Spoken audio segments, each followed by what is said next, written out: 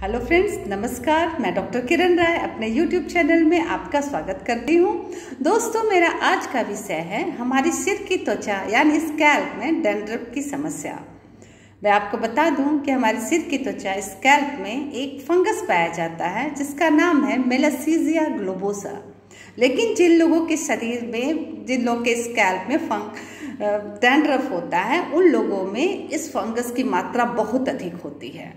अब आप ये जानना चाहेंगे कि आखिर ये फंगस हमारे स्कैल्प में करता क्या है? तो मैं बता दूँ कि ये हमारे स्कैल्प के सीबेसियस ग्लैंड से निकलने वाले सीबम को खाता है और बदले में सीबम को मेटाबोलाइज करके ये ओलिक एसिड बनाता है और ये ओलिक एसिड ही डैंड्रफ के लिए रिस्पॉन्सिबल है। यही हमारे स्कैल्प को रेड अपियरेंस देता है और खुजली होती है इसकी वजह से।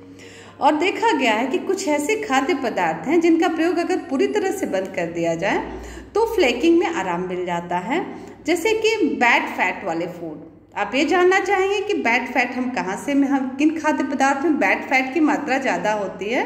तो मैं बता दूँ, हमारे रेड मीट बटर चीज़ और कुछ प्लांट ओरिजिन के भी ऑयल ऐसे हैं जिनमें बैड फैट की मात्रा अधिक होती है, जैसे कि कोकोनट ऑयल और पॉम ऑयल इनमें भी बैड फैट बहुत अधिक होता है। बैड फैट का पूरी तरह से इसका प्रयोग बंद कर देना है और इन्हें प्रोसेस्ड फ़ूड नहीं खाना है, तली हुई चीज़ें बिल्कुल भी नहीं खानी है और साथ ही साथ इन्हें अपनी स्किन को हाइड्रेटेड रखना है। क्योंकि ज़्यादा से ज़्यादा पानी हमारी स्किन को हाइड्रेटेड रखता है और जिसकी वजह से हमें ड्राई स्किन और डैंड्रफ जैसी समस्याओं से छुटकारा मिलता है।